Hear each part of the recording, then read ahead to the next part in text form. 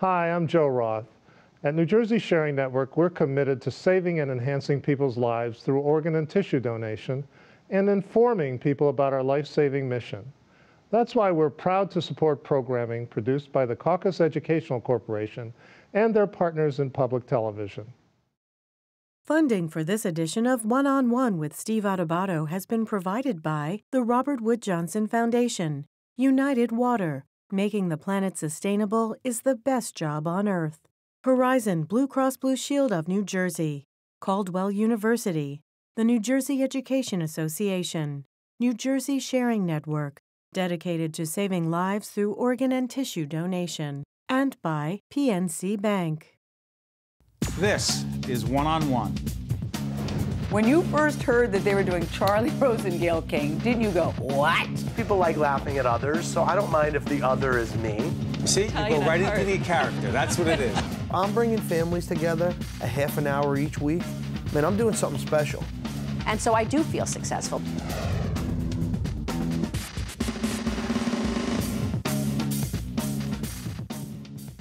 We are honored to be joined by the mayor of Jersey City, Steve Fulop.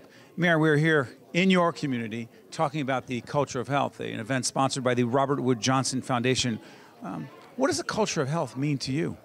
Well, there, there's a lot that cities can do, obviously, to uh, promote healthy living, um, expand one the life cycle ultimately, uh, and I think Jersey City's doing a lot on that. So, um, obviously, it's important to be putting all these nonprofits together in a room. We're grateful for the opportunity to host it here, and uh, we're looking forward to a lively discussion. Talk about some of the things you're doing. there. Jersey City, one of the first community on paid sick leave. Yeah. So Talk about that. We were sixth in the country. Um, President Clinton spoke about it. Uh, we were the first in New Jersey.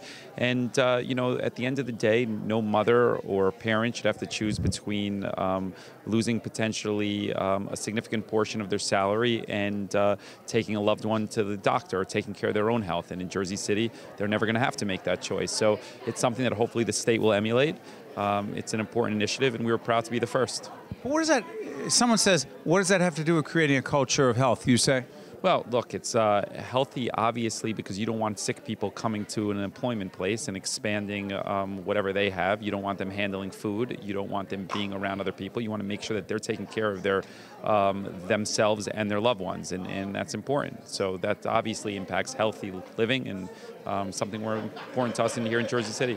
It's interesting here, along with the mayor at this uh, foundation, the Robert Wood Johnson Foundation sponsored event here in Jersey City, um, we have folks from the um, from the educational community, from the healthcare community, from Barnabas Health, who are involved at Jersey City Medical Center. You also have folks from uh, not only from the educational community, but dealing with little kids, young kids, but also from the development community. One of your developers in town who is here, I'm thinking, what is he talking about? You know, the culture of health. But the truth is, how you build your buildings matter. No. Yeah, you know, I was. Actually, it's funny. I was reading the other day about uh, similar to LEED standards. There's actually a new. Tell folks what that means. So LEED standards speaks to environmentally friendly buildings, and uh, there's different standards that you can apply for certification, and uh, that talks to the Green Initiative. There's actually a new standard that's being promoted now, focused around wellness and how um, health. How, how, how much that building promotes healthy living ultimately, and uh, Or doesn't. or doesn't, you know, and uh, you know, so construction actually matters. What type of materials they're using, um, what type of access they have to uh, things that promote healthy lifestyles. So, uh, you know, development is important part of the conversation, and Jersey City's growing. So, it's good to see that developer here. I'd like to know who that is. And, you, uh, but you are bullish on this town. Uh, yeah, we're, we're growing. We are going to be the biggest city in the state of New Jersey next year. I know the Newark guys love it when I say that. Does Ras have a hard time with that, Ras Baraka? Corey had a hard time. Ras has a hard time. You don't care, do you? I say it every day. I say it every day. I mean, we're going to have the 20 largest buildings in the state all here in Jersey City, and uh, our unemployment rate is dropping. We're growing. It's a good. It's a good narrative here. A lot of good things happening. Let's shift gears a little bit. Um, Post Sandy, Yeah. water-related issues in Jersey City. How challenging? So, you know, we still got problems. Uh, we're exploring different sustainability options. We are uh, installed a massive amount of pumps in order to uh, eliminate some of the flooding issues. We recognize that with rising sea levels, we need to kind of account for what's going to happen the next 20 or 30 years. So, um, you know, we're doing a lot of studies right now to kind of figure out what makes sense from the financial standpoint to uh, plan for the next 20, 30, 50 years. It's a real problem here. Sandy brought it for the forefront, and uh, you know, and it's something that's not a one-time incident by any stretch. Do you think, Mayor, that, that because you dealt with what you dealt with and other government officials, policymakers struggled with the way they did, and so many people did as well, that, that a lot of citizens are saying, I don't really want to talk about it anymore, but the fact is it is left to policymakers to deal with. Even if you may not be the mayor 10, 20, 30 years down the road, people will still be affected by it. Right. Don't all elected officials have such a long-term view about? Uh, yeah, right. right. I, I, think ultimately uh, the ones that are responsible are actually thinking about how to make uh, the city's a better place 20, 30 years ago. It's be- 20, 30 years from now, it's becoming a harder conversation because it's less on people's mind as it was a year and a half ago. So every time you want to spend dollars on this, people are becoming more and more removed from the immediacy of what happened after Sandy. So it's harder. It's a harder pitch to say we're going to spend 20 million here or 50 million there. That's real money. But uh, if you're going to talk about what makes sense for Hoboken, Jersey City, areas right here, um, you got to be thinking about spending some real money in order to make these things uh, work long term. It's interesting. One more question for the mayor. Um, he has joined us on Capitol Report many times with my. Um, my favorite show. You hear what he said? It's his favorite show. That's on record. My colleague Rafael Pi Roman and I often have very engaging, interesting conversations with the mayor about a whole range of issues. We talk about crime a lot, but I'm, I'm curious about this because we are here um, in Jersey City. By the way, tell everyone which college campus we were on right now and why this is so special. And then I'll move to the issue of crime. So we are at NJCU, New Jersey City University. It's growing. Um, we're building more dorms here. They have actually created a community here on the west side of Jersey City. We have uh, three higher education institutions in Jersey City uh, St. Peter's University, Hudson County College, and NJCU. All are growing. And if you're going to grow a city, you got to be investing in education and healthcare, really. Those are the two backbones, if you ask me, on opportunities. So uh, we're at NJCU. They've done a terrific job. Just had your president on uh, Cap Report as well. She's great. She's terrific. She's terrific. Dr. Henderson. I know she is. Yeah, I know. Uh, I just want to let our audience know. But here's the thing. With Steve Fulop, Mayor Fulop, we've often talked about crime, violent crime. It's a problem in all urban communities. What would you say, Mayor, the connection is between the challenge of fighting urban crime, violent crime, and creating a culture of health?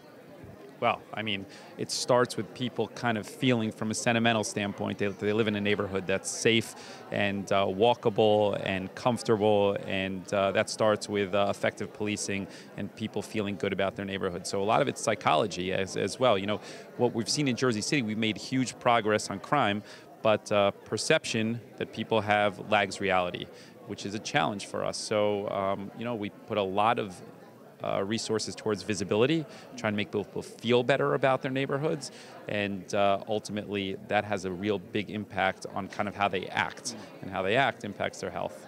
You know, I said that was the last question, but this is the last question. Uh, you know, we work in PBS, and some of our colleagues in PBS told me that I had to ask you this question. You've never been asked this before. That? You ever think about running for governor? No. You've never been asked that before? Never. Never. You've been asked that a million times. Look, uh, yeah, you know, people ask it. It's kind of flattering. So, uh, um, I know. What's the answer? I'm not interested whether you're flattered or not. Look, the, the, the, reality of the situation is if I tell you I think about it, I'm doing a disservice for uh, what I'm trying to do, and I love Jersey City. If I tell you I'm not thinking about it, you don't believe me. So uh, I'm in a lose lose situation. So what's the answer? Uh, I'm going to punt. You like football, don't you? Yeah, there you go. Exactly. That's it. So that's it. We'll see where it goes. But I look at the end of the day, Jersey City's this place is the best, and uh, I just love the city. I love it. I love it. There's so much going on here, and uh, if my political career was to end as uh, the mayor of Jersey City, I would sleep fine at night. I literally love this place, and I love the job, and every day I wake up excited. To see more one on one with Steve Adubato programs, visit us online at steveadubato.org. If you would like to express an opinion, email us at info at caucusnj.org. Find us on Facebook at facebook.com slash Steve Adubato, PhD, and follow us on Twitter at Steve Adubato. It is about everybody in a community coming together, working, saying, we have stuff that we do that's really important for health. And we need to think of those decisions, whether it's our schools, whether it's the private sector, uh, think of those decisions that we make and how they can help the health of our uh, uh, community. So uh, we're starting a uh, series of uh, forums around the state. Jersey City is a great place uh, to start, uh, and not whether it's going to be the number one uh, size city, but it's a city that is starting to, to grow again and think about uh, how it's going to be a good place to raise a family, a good place for business uh, to come, as every community, every mayor, uh, every state wants to be. We're here with uh, Jim Marks, who is the uh, Senior Vice President and Director of Program Portfolios at the Robert Wood Johnson Foundation. We would not be here if the foundation had not gotten us all together, broken down the silos, and said, right here in Jersey City, we need to talk about the culture of health. Why, Jim? What we see, Steve, is that what's been happening in our nation is we cannot afford the cost of health care that we're, we're, we have, uh, and we're not doing well as a nation. And what we've realized is that as we think about how we're going to make those changes, it's about staying healthy and living healthily, making a place a good place to raise a family uh, and and play and be active. That's what needs to happen in Jersey City. That's what needs to happen in uh, New Jersey as a whole. You've got people from the healthcare community, from Barnabas Health. You've got people right working in the schools and, and, and the real estate community, development community. I'm thinking to myself, all these folks from all these different sectors all a part of creating a culture of health in Jersey City? Absolutely. So, with the schools, of course, that's where our children spend their time. That's where they eat a lot of their food. They could be active. It's about making uh, schools healthy places for our kids. When you think about the development in a community, it's not just about uh, an apartment or housing or offices. It's about sidewalks. It's about small parks. It's about making it nice places to walk around for families. And the role of the foundation in all this? So, as a foundation, we've been concerned about health and healthcare for over 40 years. We've invested a lot in New Jersey, we've invested a lot around the nation. But we realize if we're really going to turn this around, we've got to have all of our nation, all of our communities recognize that what they do is important for health and they think about health when they make their decisions. Finally, a most significant accomplishment that uh, could come out of this very significant, significant forum right here in Jersey City today, Jim. Most significant accomplishment and where we go from here. So what we hope will happen in, New, in Jersey City and in New Jersey as a whole is in fact that the mayor, civic leadership, and the, the private sector all say we can get together and work on this and make our community a great place for families to live and raise their kids, and that will make it a good place for businesses to come. We see this as crucial for the future of our nation because if we cost much more per person than other countries, businesses will start to look at other countries as places to, to move to. We are here with Jessica Schaefer, who is with an organization called the Alliance for a Healthier Generation, which is? The Alliance is a national nonprofit with the mission to reduce the prevalence of childhood obesity. And in my role, I'm the program manager for our Healthy Schools program. And so we work with schools across the country, and I specifically work in New Jersey to create a culture of health in schools. And you're part of this distinguished panel today put together by the Robert Wood Johnson Foundation to really talk about creating a culture of health in Jersey City and, and the potential to do that throughout this state and the region. Talk about the connection of what you do with these young people, these children, and, and what that has to do with creating a culture of health. Great. So I work from the district level and at the school level, and we work to really create a culture of health within the school building so that everything from the classrooms to the cafeteria is promoting health within the building. For example? So, for example, we work with the food service director for the district and then also at each individual school to make sure that the school menus are meeting both the federal USDA requirements, but then also even going above and beyond that to make sure that um, healthy foods are really accessible um, and promoted to the students. I'm going to push you a little bit because we have school age children. Instead of what, you'll have what in the cafeteria? Um, so one great example is um, in Jersey City, the food service director has been doing some great things with um, providing extra fruit. So by the um, end of the register where the kids would be leaving, um, there might be a fruit bowl there, and the kids can select something that they might want. Um, also, adding salad bars into the schools. We even have one school that's really creative, and they've added a yogurt bar. So a yogurt bar. A yogurt bar, so kids can get yogurt granola as an addition to, or to, or instead of their meal for the day. It's interesting. The whole question of childhood obesity, um, huge problem in this country. Um, absolutely. One in three children is now overweight or obese. And we know that this is a problem not just um, for today, but also because it's a risk factor for chronic diseases in the future. So, diabetes, heart disease. So, it's really important to um, address this problem now. And schools are an excellent place to do this because that's where students and children spend the majority of their time outside of home. Obviously, teachers are engaged, uh, school administrators are engaged, but advice for parents, those of us who are very concerned and want to be a part of um, contributing to creating a culture of health. Give us some advice. Great. So um, the way that we work with schools is we really try to build capacity within those schools. So each of the schools that we work with, they're creating what we call a school wellness council. So this is a group of committed staff people, administrators, students, and oftentimes parents who come together to address health within the school. So a great way for parents to get engaged is by joining that committee at their school and um, contributing their ideas, their energy um, towards that. Most significant thing that we can achieve with this Robert Wood Johnson sponsored panel today is I think that coming together around this topic of health within one community provides, in Jersey City in Jersey City provides the opportunity to connect with others that we might not have thought of before and collaborate.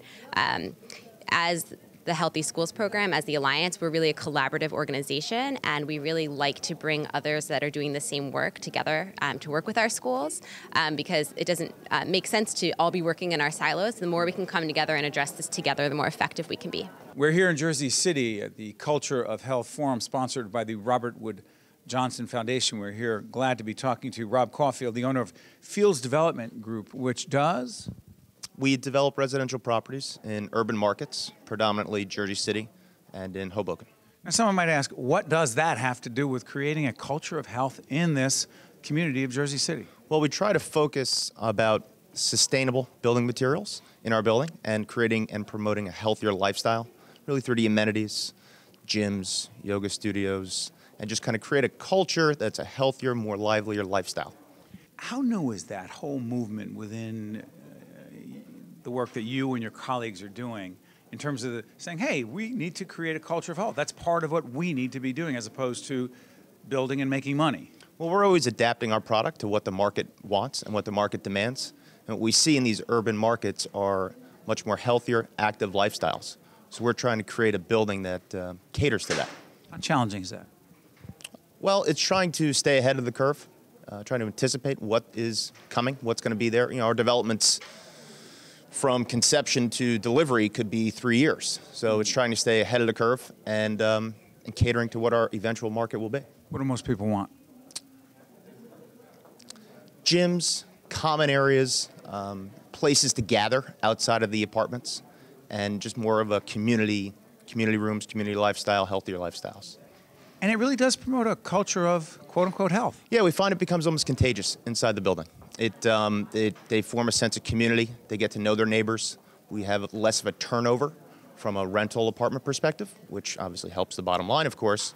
But it's just kind of building our brand as a developer, and that people will recognize this healthier lifestyle, healthier communities with our other developments.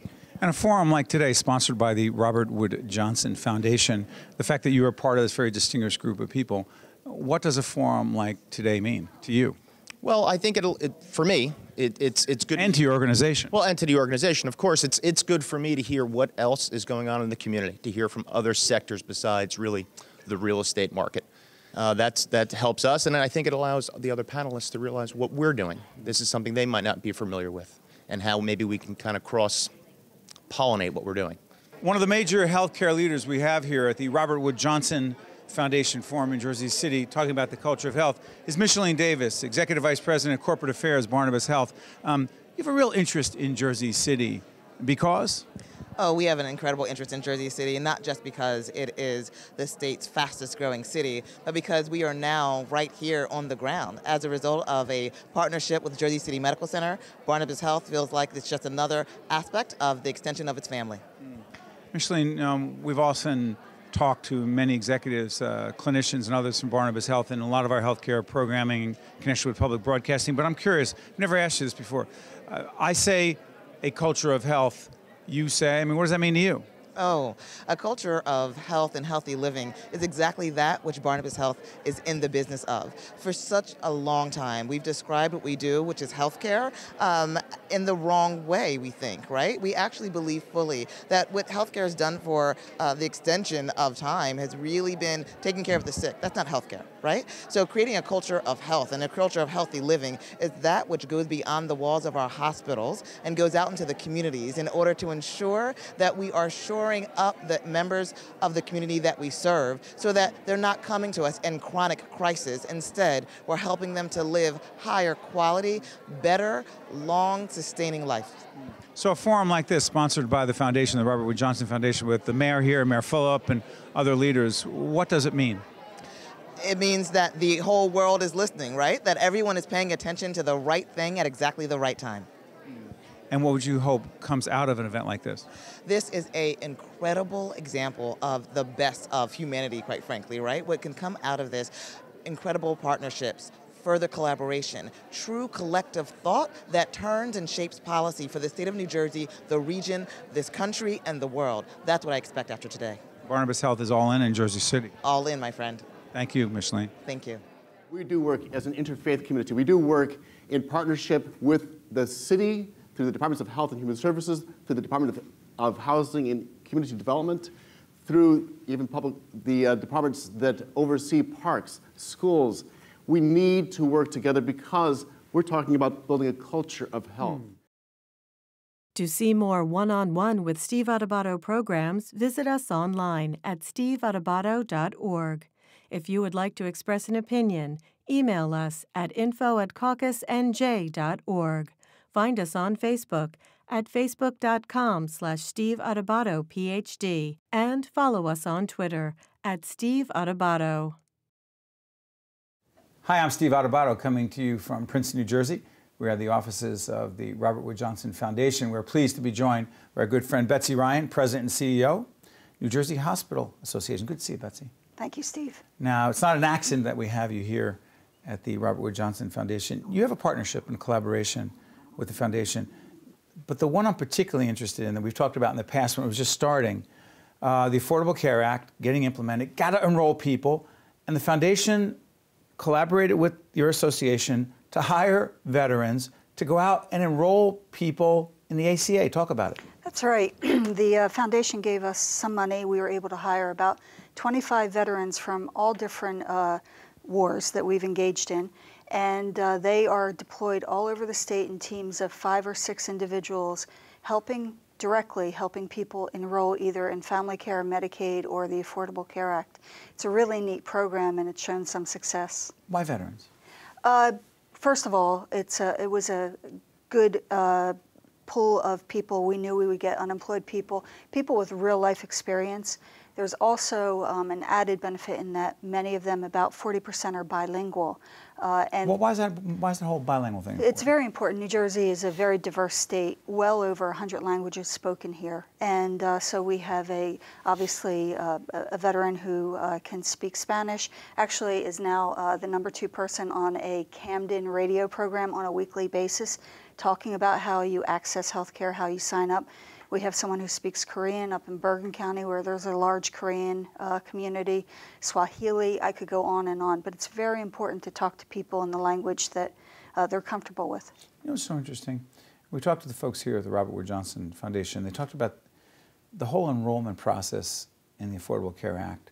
You know, we, we're very involved in public broadcasting and trying to talk about it, explain it, break it down, and that's great from a big picture perspective. But the folks at the foundation were saying how important it is one on one, signing people up one on one, and that is a large part of what you're doing. Absolutely, and you know sometimes it doesn't get done in one visit. Sometimes paperwork is required. You know the individual needs to bring back uh, some uh, specific information, and uh, we even had one instance where uh, a woman had been diagnosed with cancer, was laid off from work, and was talking to the uh, certified application counselor about not having chemotherapy, just waiting three months until she was officially signed up. Well, hold on, not covered at the time? Not, not covered, uh, laid off. Right. And that certified application counselor, that veteran, worked with her and said, please, please, you have to get your chemotherapy. Worked with her, found some way to get her enrolled immediately and she got her chemotherapy. That's a real story. That's real important. You know what's so interesting? We deal with statistics. Everyone's obsessed, and we in the media as well. How many people have you signed mm-hmm. up? What did the president say? You know, what is Congress saying about how many the president said and enrolled, and are we there? But then again, you talk about that one person, that one person who enrolled who may not have enrolled if this veteran had not pushed the issue with her, made that personal connection. And that veteran may not have been there, probably wouldn't have been there if the foundation hadn't supported this grant to the hospital association. I mean, you know what I'm saying? Sure. I, these veterans have touched over 20,000 lives. Um, I can't say, you know, going back to statistics, I can't say they're all enrolled. We don't have that data yet from but the federal government. They've made contact. They've made contact, and and now they've moved on from not only just enrolling people, but helping to connect them to the healthcare system. You know, if they see someone who is having behavioral health issues, they now know where to refer them to. So it's even gone beyond a little bit the application process. Talk a little bit in a few minutes we have left. Uh, we'll talk big picture hospital world in just a moment, which I know you love talking about, right? Um, the role of the Robert Wood Johnson Foundation. I mean, we always say this, full disclosure, they are underwriters, the foundation underwriters of the, those of us in the world of public broadcasting. You do mm-hmm. have a mm-hmm. grant from them as well. But they are the largest foundation in the country providing grants to those us, to those dealing with healthcare, right? Absolutely. Why is a foundation like this so important? Well, first of all, we are blessed in New Jersey to have them here. They're right here. They're right here and they're right down the road from my association, and we've worked in partnership with them on a number of important things over the years. They show such tremendous leadership uh, in convening us in New Jersey and in convening people all over the nation on important, difficult subjects that maybe um, it's hard to get people to talk about in a room. And they're a neutral convener. Uh, they have a lot of smart people. I know you just had the president speaking and right. uh, really talented president of the people. foundation. Yes, very talented people who help lead us. Uh, you know, we all want to be leaders, but they lead us. They give us resources resources to help take healthcare to the next level. Betsy Ryan is the president and chief executive officer of a great organization. It's the New Jersey Hospital Association. One on One with Steve Adubato has been a production of the Caucus Educational Corporation, celebrating over 25 years of broadcast excellence. Funding for this edition of One on One with Steve Adubato has been provided by the Robert Wood Johnson Foundation, United Water, Horizon Blue Cross Blue Shield of New Jersey, Caldwell University, the New Jersey Education Association, New Jersey Sharing Network, and by PNC Bank. Promotional support provided by NJ.com, Small News, Big News, True Jersey, and by Commerce Magazine. Transportation provided by Airbrook Limousine, serving the metropolitan New York, New Jersey area. Each year, Americans fill 4 billion prescriptions, but as much as one third of that medication will never be used. Some of this waste ends up in the rivers, lakes, and streams that make up our drinking water supply. The United Water Foundation and the National Community Pharmacists Association have partnered to bring you a simple solution. Dispose your meds responsibly. Go to disposemymeds.org to find a participating pharmacy and to learn more. A public service message from the United Water Foundation and NCPA.